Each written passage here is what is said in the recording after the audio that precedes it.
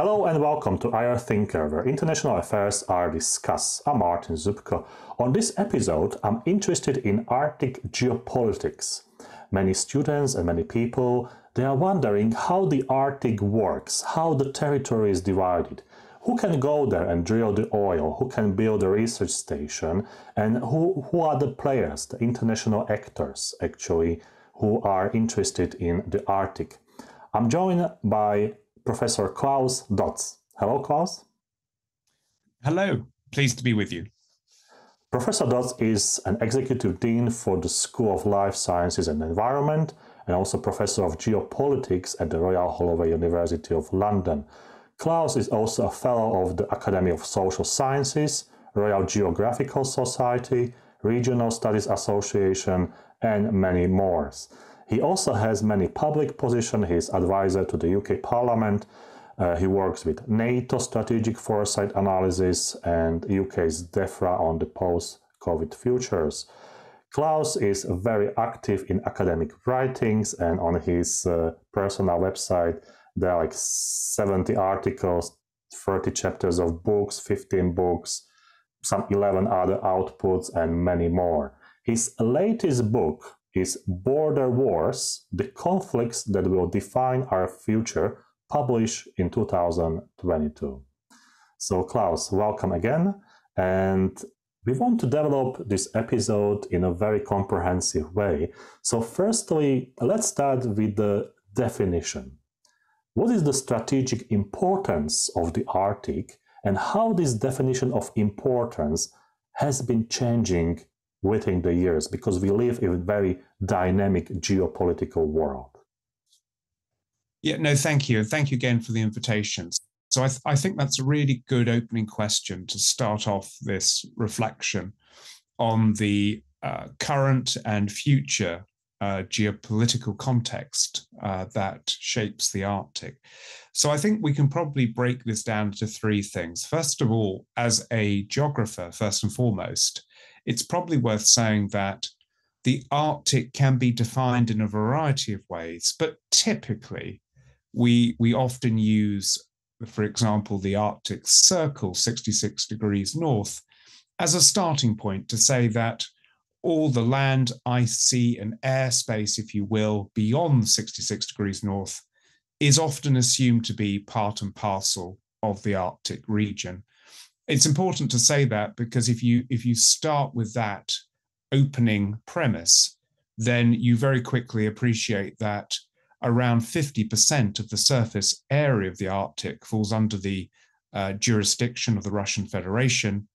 And then the rest is is in various ways under the sovereignty sovereign jurisdiction of seven other so-called arctic states some very large like canada some small like iceland and of course, then we've also got other bodies of water and ice that I'm sure we'll get onto. Now, how, how has the strategic importance of the Arctic changed over time? Well, we can probably divide things up into three distinct uh, phases, if you like, over the last 70 or 80 years, just for convenience. So, first, unsurprisingly, if we take that as our time frame, we have a Cold War context, and really what we could conclude is, is that for much of that period, from the late 1940s up until, say, the late 1980s, the Arctic was a highly militarized space. Russia, Soviet Union, uh, clearly was involved in a broader strategic confrontation with NATO allies. And the Arctic, of course, was not immune to all of that. Famously, we had nuclear powered submarines traveling under the Arctic ice cap. And we also had, particularly in the Soviet Arctic, many areas which were simply forbidden, forbidden spaces that even Soviet citizens could not travel to. So highly militarized, highly securitized.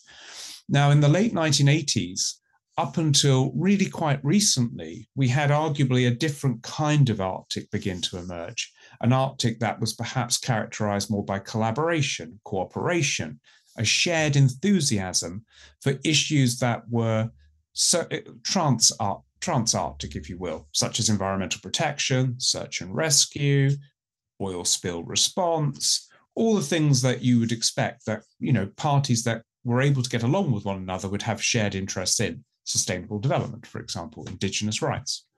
However, in more recent times, and I suppose inevitably the full scale invasion of Ukraine is probably as good as any point of consideration. So, from February 2022 onwards, we've also seen a deterioration in that collaborative circumpolar vision of the Arctic. So, what I would suggest now is that we have an Arctic that is less, unfortunately, circumpolar and collaborative, but more bifurcated. So, where, for example, the Russian Federation and its enormous Arctic zone is increasingly being feted, if you will, by Asian partners, partners from the Middle East. And then we have the non Russian Arctic, the other 50%, to put it simply, which of course is working to reinforce and securitize its interests. And, and of course, most notably, Finland and Sweden joining NATO, um, subject to final ratification, would probably be illustrative of that. So, three phases, different kinds of strategic importance. Um, but one thing holds all three together, and that is simply put, those eight Arctic states that I started off with are absolutely passionate that these are really integral spaces to them, not only economically, politically, but also culturally in terms of their national identity. There is a really profound sense in which these countries and their communities, including indigenous and settler, feel very, very much that the Arctic is integral to their collective and individual sense of self. When I spoke about the Arctic during my lessons, some students ask, there is a big portion, as you said, belonging to Russia. But was it the Soviet Union that this part, you know, belonged to? And what about other states like Ukraine, Kazakhstan, you know, because Soviet Union was the group of states. So those states, they were just forgotten or how was it? It's a really good question, actually, because uh, there's one obvious geographical response the obvious geographical response is that if if if you can imagine, if you will, the 15 constituent elements of the former Soviet Union, so those socialist republics, well, at, at the heart of all of this is the enormous Russian heartland. Now, that Russian heartland stretches, of course, all the way to the west to Arctic cities like Murmansk and all the way to the east for example, cities like uh, Vladivostok on the Pacific Ocean. So the vast majority of the Arctic territory, indeed the entirety of the Arctic territory of the former Soviet Union, is, is ineffectively in Russia. So, simply put, geographically, Ukraine, Kazakhstan, Estonia, and so on and so forth are, lie outside that Arctic region that I talked about as potentially being definable as 66 degrees north. Now, confusingly, in Russia, in Canada, and elsewhere, you also have sometimes lower latitudes, like 60 degrees north, being used to describe um, the start of the north. The Canadian North starts at 60 degrees north, for example. So there are different latitudes, if you like, lines of latitude defining the Arctic. Okay, so that's one way of answering it.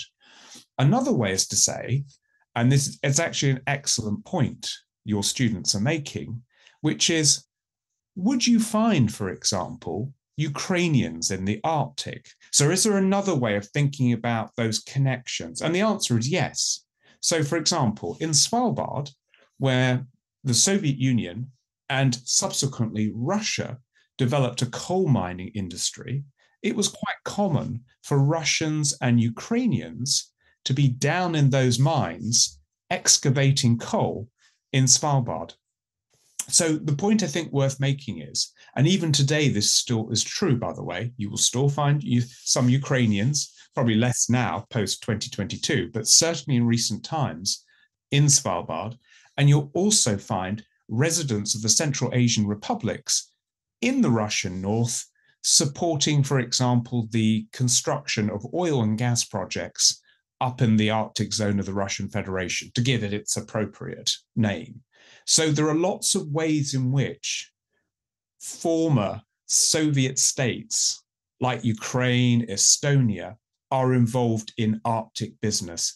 And some of it's quite conventional, like Estonians, for example, are involved in polar research, both north and south. Do you know? So I hope that's clear. But I think fundamentally, we're talking about Russian territory, and that is, you know, in a sense, quite different, I think, from Ukraine and other um, territories, if you will, further south. Is there any influence of climate change in uh, Arctic geopolitics? And uh, just supporting question, does it does it connect some other countries that might think, oh, you know, climate is better, let's explore? So, uh, you know, this is this is absolutely a fundamental question. So, first and foremost, and it won't take anybody who's listening to this by surprise, climate change is having a profound effect on the Arctic region. And that effect is arguably intensifying and it's having consequences that really are very, very profound. So, couple of examples. First of all, the one that many people understand, I think, instinctively the Arctic is warming, and Arctic sea ice, Arctic glacial ice is shrinking, retreating, disappearing. So the Arctic Ocean, which is the one that I think a lot of um, commentators have a great deal of interest in, is unquestionably becoming a more open ocean. And that openness, I think, provokes a number of reactions. So, on the one hand, for countries like Canada, it actually is disturbing because when Arctic sea ice was very thick, it meant that the Canadian North, by definition, was less accessible because Arctic sea ice was effectively a block on movement. Now, it didn't mean, of course, that nuclear powered submarines weren't perfectly capable of traveling up and down the Northwest Passage during the Cold War. Yes, of course, that did happen. But I think importantly, at the surface level, if you will, key, key strategic passages like the Northwest Passage looked and felt a lot more difficult to navigate. So if you're an Arctic state, or at least a certain type of Arctic state, this is bad news because it means that the Arctic looks and feels more accessible, and you may not care for that. Now, on the other hand, if you're Russia and you want more commercial traffic to run along the north of the Russian Federation, and the water to the north, of the Russian Federation is called the Northern Sea Route, then you might think that actually less sea ice is a very good thing because, on the face of it, it makes commercial shipping an easier prospect. Now, you might think all of that, and you might think that's quite instinctive and sensible. The problem is, is that actually what we're discovering is, is that it's not that straightforward. So, for example, less sea ice doesn't mean no sea ice. And the Arctic, particularly in the winter, is still a very dark, cold, difficult place to operate. Second example, permafrost. So frozen ground. This is hugely important in Canada and Russia in particular, but also in other parts of the Arctic, including Alaska. If frozen ground thaws, two things happen. One, methane gas is released because that, particularly that sort of vegetative matter that had previously been frozen, is no longer frozen and it thaws. And unfortunately, methane gas emissions um, occur. That worsens um, all the concerns we have around climate change. And then the other thing that happens if the ground thaws, it means that infrastructure is no longer quite as secure as it once was. You, effectively, you get subsidence. Things start to break down. So if you're asking me, what are the geopolitical or strategic consequences of climate change? They're everything and anything in the sense of, yes, on the face of it, the Arctic might look and feel more accessible at certain times of the year in certain places. But also, there is a cost factor. And that's the thing I really want to emphasize. So if you talk, for example, to the US Air Force in Alaska, one of the things they would tell you is that thawing ground is adding further costs to doing business in the Arctic. And that's really important to bear in mind that anything and everything in the Arctic is expensive. So climate change is putting a financial burden, a further financial burden on military, civilian infrastructure, but also it's having a very, very disruptive consequence for many indigenous communities. And we shouldn't forget that, that that's, you know, that's hugely important. And many of these communities, particularly remoter communities, are, are finding actually climate change to be deeply challenging and costly. Do those communities have any international support or, you know, there is some sort of like uns- unwritten or, or, you know, some sort of unofficial agreement that, you know, Russia, Canada, all those countries, they got together, you know, and to, to try to preserve, to keep those communities in their traditional lifestyle? Or because of geopolitics and all those you know tensions there is not much care about those people. It's a really good question and it's a complicated question because the other thing that's really worth saying at this stage i've talked about the eight arctic states you know from the largest like russia and canada to the smallest like iceland. Um, it's worth saying as well again just to be really clear on this indigenous and northern communities are highly diverse, and it is it is worth noting as well that indigenous communities across the Arctic, particularly in the last 50 years, have acquired a great deal more formal legal rights than they once had. And that means, for example, in the case of Alaska since the 1970s, they've actually enjoyed in many cases, native communities, substantial economic and financial rights, but also in places like Canada and Greenland, um, indigenous communities have also enjoyed greater self governance, greater autonomy, rights to subsurface resources. So it's really important to say that whatever's happening in the Arctic, indigenous peoples are highly involved in the sort of the resource governance of the Arctic. But, and then this is the big but to all of this, it is also the case that national governments can and do invoke geopolitics and security considerations to actually make decisions that indigenous peoples, northern communities would not care for. And that might be, for example, in northern Scandinavia, it might be to approve renewable energy projects that disrupt traditional reindeer herding patterns and activities. It might, in the case of Alaska, be to approve oil and gas projects that some native communities don't care for. Or it might be in the case of Russia, where the rights of indigenous peoples are arguably the weakest in anywhere in the Arctic simply to say, we don't care, because actually the national security of the Russian Federation is by far the most important element in all of this, and resource exploitation is integral to the future of the Russian Federation. So you, it's a very, very mixed picture. And I think broadly put, indigenous peoples in the Russia are the, at the most precarious. How do you see the functionality of the Arctic Council? Because for some people, you know, it represents sort of like form to speak about the Arctics. And for the others, you know, it might seem as a sort of semi-governmental body, you know, sort of like some sort of the highest authority in the Arctic. So what's the situation at the moment, also with the consideration of what's going on in Ukraine? So I think it's just worth saying, in terms of context, the Arctic Council was established in 1996. Um, it was uh, very much championed by Canada, and hence the reason we have the Ottawa Convention. It, the Arctic Council is an intergovernmental forum. It doesn't have the legal competency and personality that you might find, for example, uh, in and around the Antarctic Treaty, which is a very different kind of governance arrangement.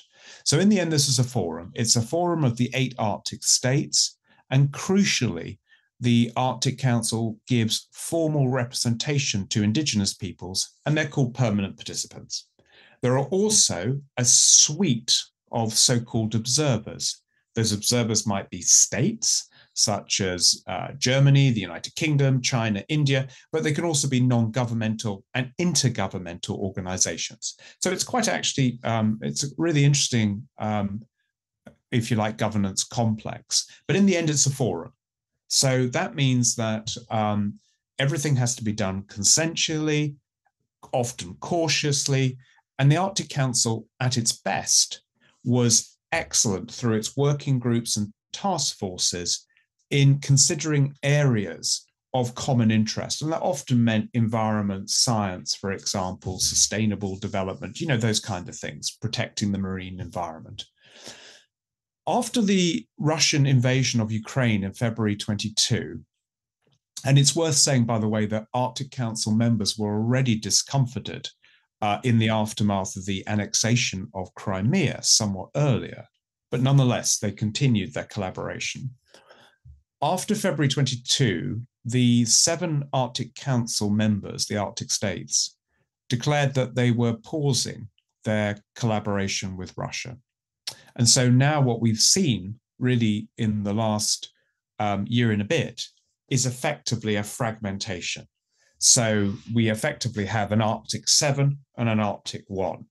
And, and that's obviously been quite, I think, soul destroying for those who have been so heavily invested in what the Arctic Council was, is, and still could be, which is a platform for a circumpolar vision of the Arctic, where Arctic states and peoples are able to work together in areas of common concern. So it's we're not necessarily in a great position at the moment, and that is in, in inevitably, I'm afraid, due to the deterioration of wider relations with the Russian Federation. I think finally, what I'd say is it's obviously shattered the understanding of what used to be called and still is called Arctic exceptionalism. In other words, that the Arctic was sufficiently special and regionally distinct that whatever else happened geopolitically, that, if you like, that way of doing business would prevail. Well, that's clearly been shattered. Um, because what we, you know, in international relations would be called the spillover effects have made themselves felt after February 2022. If we go a little bit back in time, can we say or can we assess the trajectory of, of this council in terms of competencies? So, for instance, in 2021, 2020, those countries, as you mentioned, were they interested in to develop the council further, or they were interested in keep it as a forum only? So th- this is a really interesting question because actually, um, some of the most awkward moments came actually in 2008 9, arguably, when there was growing interest from the European Union and particularly the European Parliament about the governance of the Arctic. And I think there was probably some unfortunate commentary that suggested that the Arctic was somehow short of governance. And I think it's worth stressing that when we consider the um, the Arctic seas and oceans, we we we need to keep in mind that there is the United Nations Law of the Sea Convention, and that deals, you know, with anything we might care to imagine with regards to, um, for example, sovereign rights over the Arctic seabed, international mobility, freedom of navigation. You know, the the United Nations Law of the Sea um, Convention was a global framework for all seas and oceans, and that applies to the Arctic. And indeed, there is one special provision in what's called UNCLOS, which is uh, uh, really about ice covered waters. But we'll put that to one side for the moment.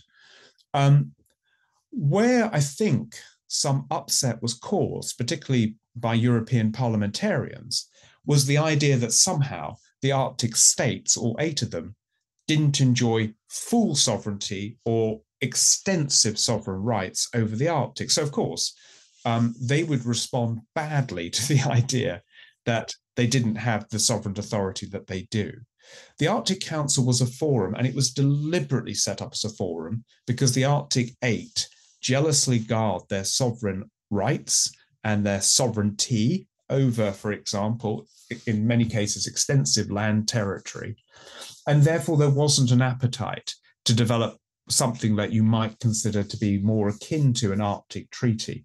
What they have done, however, since its creation in 1996, is vastly expand the observer community. So they've invited more people to come and observe and engage the work of the Arctic Council. And actually, through the work, as I said earlier, of their working group and task forces, they've actually expanded the business of the Arctic Council and supported the creation of an Arctic Economic Council to help develop things, again, things of common concern around, for example, sustainable development, economic opportunities. And the other thing worth saying, there have been some agreements signed during this period, um, for example, over search and rescue, oil spill response, scientific co- cooperation in the Arctic. But that was done against the backdrop of the Arctic Council. Uh, and and kind of usefully, I think, from from their point of view, shown to be part and parcel of what was tr- what was being, uh, in essence, sought to be achieved, which was a more circumpolar vision of the Arctic, where people, uh, countries, states could work collaboratively with one another. The reason why I asked that question was the, because sometimes in diplomacy, especially, you have the concepts, and sometimes one country, you know, is, is doing some sort of like not not kosher things, you know, and then the whole concept is forgotten. And that's that's a pity you know because i think sometimes we have a very good concepts and because something happened or, or something you know is happening at the moment we can't forget about the positives of those of, of the, those concepts or that concept because in the future you know we will start again from zero and we don't have to do this. We already have something which was developed and it worked you know so so i think that's quite important to remember that despite the current situation, we should still focus on the council as, as the body and also from the research point of view try to develop some new ideas. Because in some way we have to govern the territory. Yeah i mean i think i think sorry martin i think what i would say to that is because that's a really good good point you're raising. So let's again let's let's be kind of clear that notwithstanding the pause in the cooperation with Russia in, in, in and around the Arctic Council, I think let's put some positives on this as well in terms of what could have happened but hasn't happened. Okay, so we've we've got a couple of examples. Number one, um, and we haven't talked about this yet, but it's worth just mentioning quickly now. We have, of course, the Svalbard Treaty, and that's a treaty over 100 years old. Um, the Soviet Union, now Russia, is a signatory, as, as are many others. And essentially, what Svalbard says is um, the Svalbard archipelago, the main island, Spitsbergen, which some listeners might be familiar with, is a Norwegian territory, but we have a special treaty based um, regime here where other parties enjoy equal access to resources, for example, you know, such as coal historically. Now, after February 2022, the situation could have become so parlous that Russia could have walked away from the Svalbard Treaty, and we might have been talking about a very different prevailing geopolitics in Svalbard. Thus far, that hasn't happened. And I'm not saying there hasn't been tensions between Russia and Norway over the years around Svalbard. There has. But arguably, actually, in more recent times, the greatest pressures have, uh, pressures and, and divisions have been with European Union member states such as Latvia arguing with Norway about how fishing is regulated and controlled around Svalbard. So let's put that as a positive in terms of it hasn't happened. Another positive is that Russia, Canada, Denmark all have work to do in terms of determining how far their sovereign rights extend over the Arctic seabed. And in a nutshell, Russia, Canada, Denmark, Greenland, those, those, if you like, claims they overlap with one another. And thus far, Russia, Denmark, Canada are all following the international legal process that is applicable to this particular concern. And we haven't seen any deterioration in that. So, that is not to say, to be super clear, that we should not be deeply concerned, alarmed about what Russia has done in Ukraine and continues to do. But it is just simply to say that actually the pausing of the Arctic Council has carried costs. You know, we don't see the scientific collaboration we once once saw the Russian Federation now, for example. But it could also have become a, a lot worse. And, and we've also got to bear in mind, whether we like it or not, that Finland joining NATO has also changed that northern flank dynamic because previously, of course, uh, Finland and Sweden, well, yes, they were closely associated with NATO, but not formal NATO members.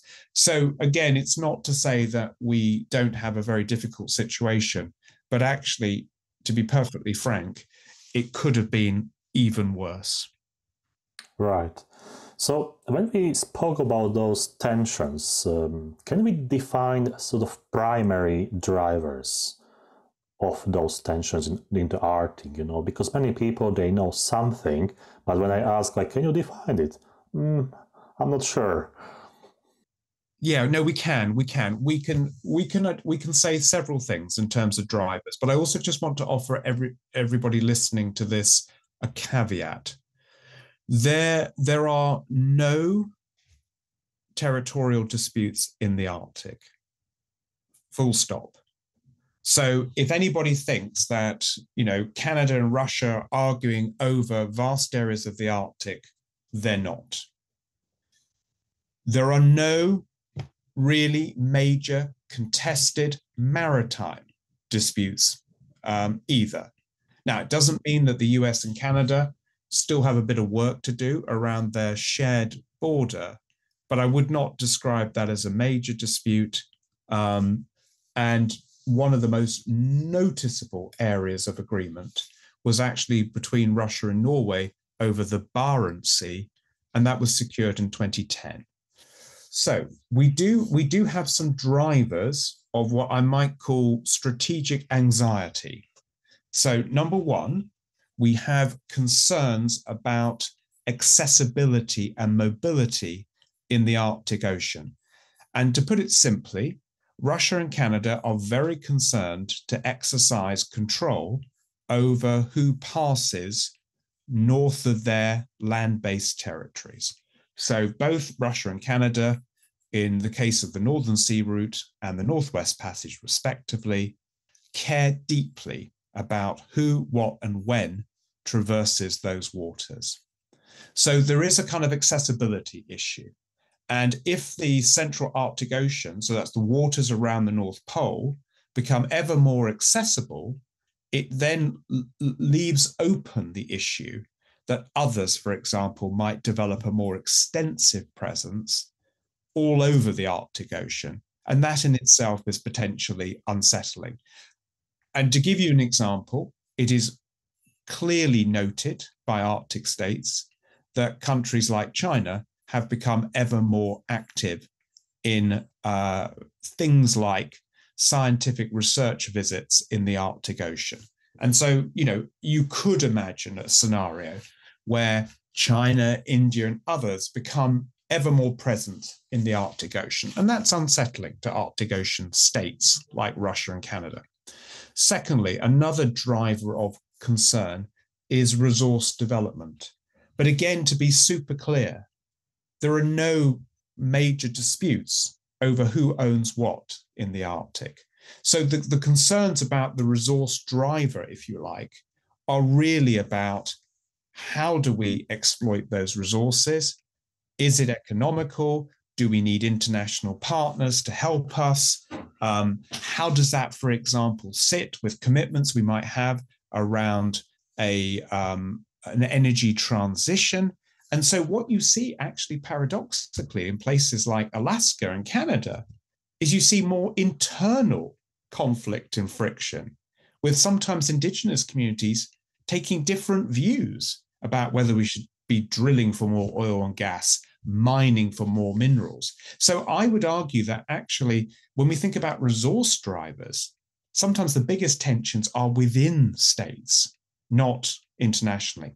However, a resource driver is also important when we think about the Russian Federation, because Russia needs international partners, Russia needs foreign investors, and, and that has been very, very obvious in the last two decades as Russia has looked initially to the West and now increasingly to China, India, Saudi Arabia, Turkey for help to develop. Um, a third issue is technology and infrastructure, another driver. And just to give you an illustration of what might be at stake. So you may recall a story about an underwater cable connecting Norway to Svalbard being cut, being, being on the face of it, sabotaged. And that's a really good reminder that a big driver in all of this is around infrastructure and technology. So Arctic states worry all the time about their domain awareness. You know, do, do they know what's going on in the Arctic? Because it's very large, it's very remote, and that puts plenty of pressure on things like satellite communications, underwater uh, cables. Um, do we have, for example, sufficient assets you know, to patrol and to monitor what's going on. And that inevitably asks a lot of questions about technology and infrastructure. And there are, frankly speaking, gaps. There are just knowledge gaps, information gaps, communication gaps. A fourth thing I would I would say is don't underestimate the indigenous northern community driver as well. You know, indigenous communities do not like being told, to put it simply, that they can't do things on the basis of either national security considerations that have been determined in Washington, Oslo, Ottawa, or on the other hand, that what is sometimes termed green colonialism trumps their interest. So typically you'll find Sami in the Nordic world saying, you know, now you're telling us we can't do things, or you're interfering with our traditional lifestyles because you want to put more, for example, wind wind energy projects up in our traditional homeland. So there's so that's another driver, that's another tension. And really what I would take away from all of this is that actually a lot of these drivers produce tensions within states rather than just always thinking of it as beyond states. So I think actually it's often the domestic geopolitics, if I can put it like that, is in some ways the most interesting. The talks, articles, and some unanswered questions about China, especially about the Belt and Road Initiative.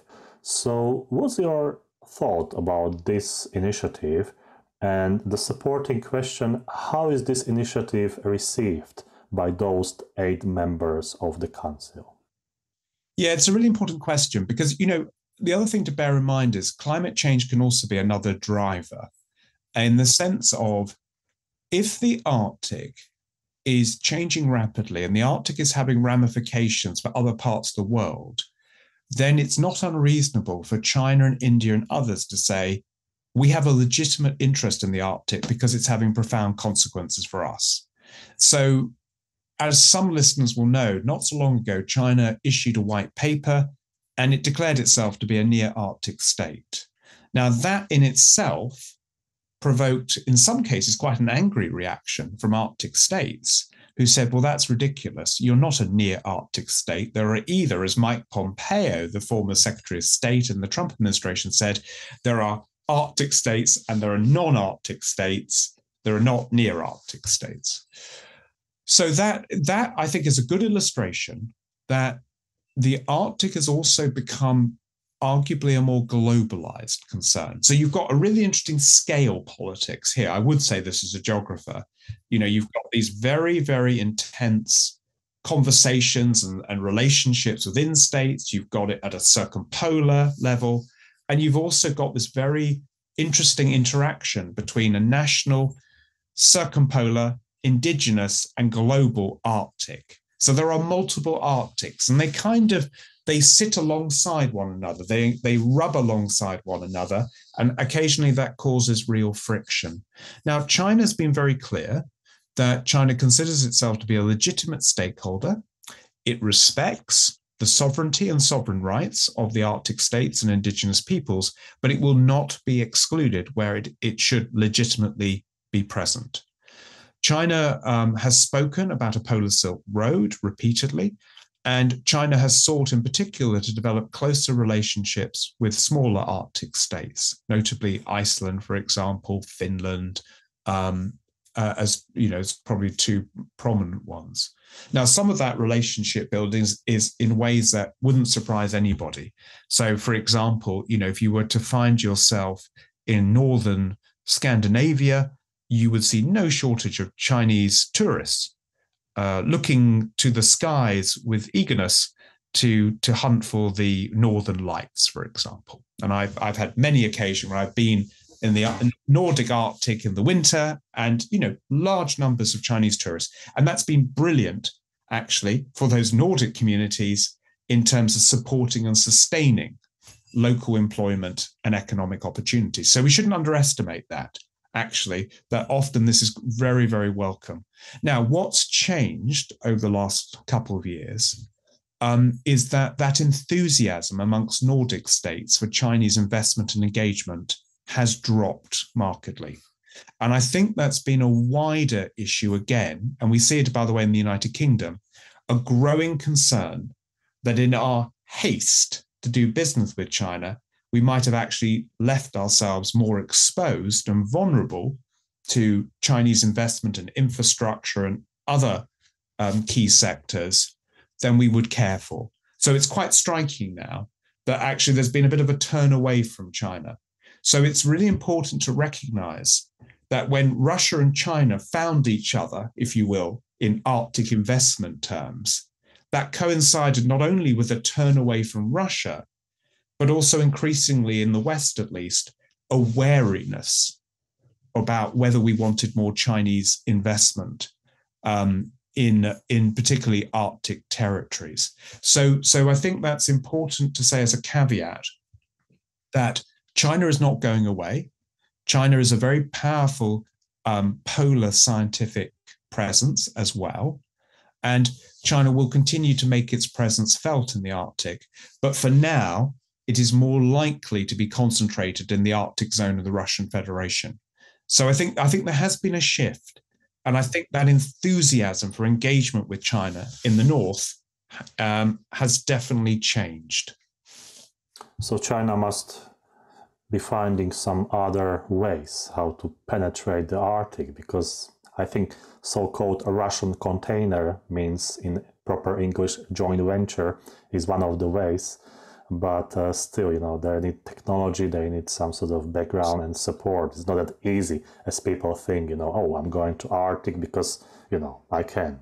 So we spoke about the states and now the interesting question for my students is there any non-state actor or you know a significant international player that is not a state? So it might be also the institution actively involved in the arctic I, am going to give you two examples to answer that really important question. Um, so the answer is yes.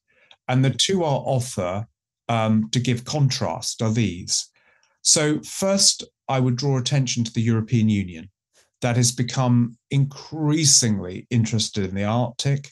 And I think after what I would consider to be a bit of a, a misstep in 2008 9, when it, through its parliament, I think asked probably careless questions about the state of Arctic governance, has subsequent to that, I think, developed quite a professional uh, and, in, to my mind, sensible approach to the Arctic. So much so that there have been various Arctic frameworks, policies, strategies, and we've had, for example, um, EU ambassadors at large, um, who I think have actually played a very positive role in terms of highlighting, quite reasonably, in my opinion, the um, the the sort of the competencies and the engagement that the European Union has by its sheer presence in Arctic affairs.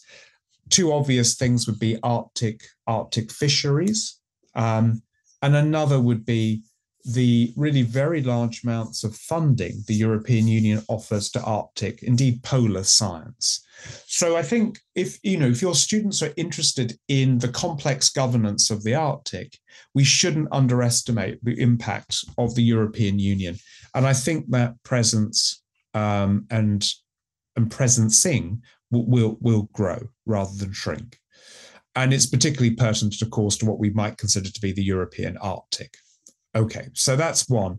Another, I think, I draw attention to might be um, non-governmental organisations, and we we could we could have a variety of examples, but you know we could look at things like environmental organisations like Greenpeace, and we could say, well, one of the interesting elements of Arctic politics is the involvement of campaigning groups, for example, and and sometimes those campaigning groups have worked sympathetically with Indigenous peoples and communities to raise um, issues of common concern. And, or sometimes they have worked less sympathetically um, with Indigenous groups in particular.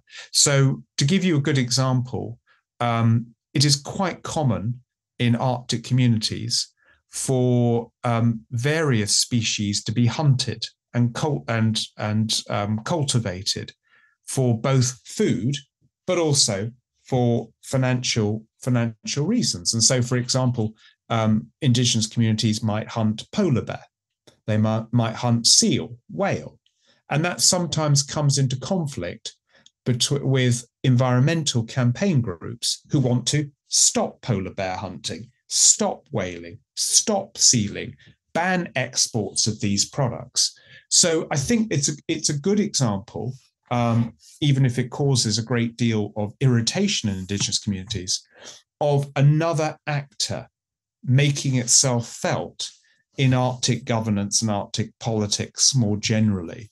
And it's just a it's just a reminder that if you look at the Arctic Council observer community, and that's what I'd say to your students, have a look who's an observer to the Arctic Council, because that gives you tremendous clues as to how the governance of the Arctic is, is quite a congested one. There are quite a lot of interested stakeholders, goes well beyond the eight Arctic states and the indigenous peoples.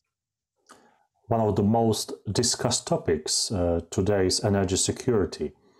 Do we have any research outputs about the meaning of the Arctics for renewable energy and for the fossils, for oil and gas? Because I see some activities of the companies, but you know, the question is logical because the Arctic is far away from, let's say, Europe or Canada, you know, is it even possible to establish some energy links with the Arctics? Or it's gonna be just the a territory from where we will extract the resources.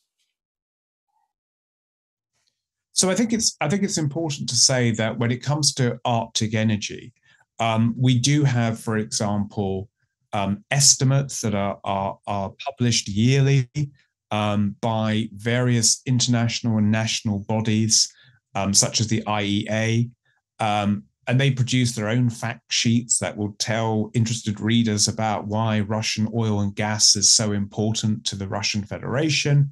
Um, and also, we've had in the recent past surveys, for example, by the US Geological Survey that um, give us uh, estimates uh, of key things like oil and gas, and and will, you know, make educated judgments about what we might consider to be uh, discovered and undiscovered potential. Now, the key thing to say about all of this is you will sometimes read, you know, the Arctic possesses X amount of oil, X amount of gas, so much coal, diamonds, uranium, whatever. And I, I think it's really, really, you know, important to take the caveat in mind, which is this is just because something exists does not mean it's commercially politically, legally sensible, permissible to exploit it. Um, so, what you often find in discussions about energy is that there's quite a lot of hyperbole, speculation, exaggeration, that the Arctic is this straightforward energy treasure house just waiting to be exploited. Again, I said this earlier, but it's worth saying again. Doing business in the Arctic, any business, is expensive and time consuming. It's not straightforward. Um, and it requires a lot of investment in things like infrastructure, technology transfer, um, transport to market. So, so, that's, I think it's really important to kind of note all of that. Um, beyond that, however, um, it is also true that Arctic states are very mindful of the fact that where they can sensibly develop renewable energy projects, they will do so because, for example, many Arctic communities, places like Alaska, are often critically dependent on diesel, diesel generators for their power. And there have been cases when that capacity has fallen short, or, for example, where ships have not been able to resupply remoter Arctic communities, so leaving them actually quite vulnerable to effectively no no power supply. And that's no laughing matter in the depth of an arctic winter which might be minus 40 degrees minus 50 degrees. You know that's a really serious problem. So i think what you'll find is that a lot of the conversation increasingly is about how do we improve energy resilience in these arctic communities? How do we move them on to where it's sensible renewable energy? Wind energy for example might be more sensible than solar energy, um, or biomass, for example, might be another resource. But it it is it's not it's not straightforward. And then the other thing, just worth saying, just to kind of remind everybody that the Arctic is also in places heavily urbanized. So if you're thinking of the Arctic as just lots of small little communities, that's quite wrong. Um, you know, you also got to bear in mind there are plenty of cities, towns, and depending on where you are in the Arctic, the, the north of Norway, for example, the north of Sweden or Finland, is at one level little different to the south of those countries. You know, it's only when you get into the vast Arctics of Canada, uh, Russia, Greenland, for example, then it's it's perfectly fair to say these these are profoundly different communities but even in the Russian Arctic, you can often you can often talk about towns, whereas in the in the Canadian Arctic, you might be talking about really very very small, comparatively isolated communities, and that's where energy resilience, I think, really makes itself felt, or lack of. Let's put it that way. The last question for today's interview. I know that you've been researching the Arctic for for many years. What is the most important unanswered question when it comes to geopolitics and the Arctic for you that you are thinking about it, you are researching about it, and the question is getting either more complex or more complicated? Uh, that that's it. That's such a good question. Um, I'll, I'll give you two things that I'm kind of really interested in, and I I don't know how it's going to play out. So the first one is is will Greenland become independent in my lifetime?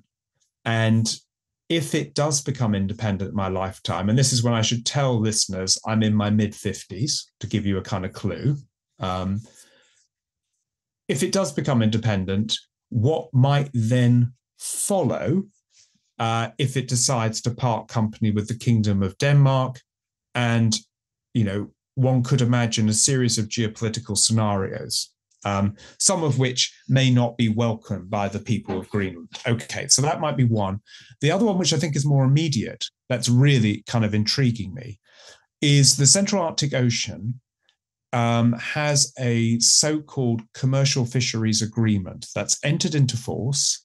And we have a 16 year moratorium on any commercial fishing development and that agreement's been signed by China, the European Union, Japan, Korea, and the Arctic states.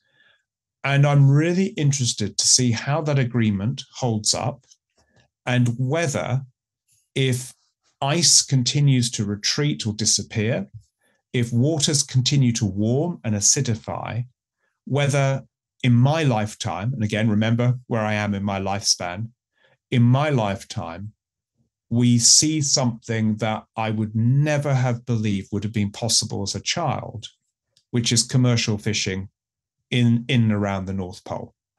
I grew up with a vision of the Arctic as this kind of frozen winter wind wonderland, uh, childish vision of the Arctic, and actually in my lifetime coming coming to grips with an Arctic that is so radically different, it's at times mind blowing.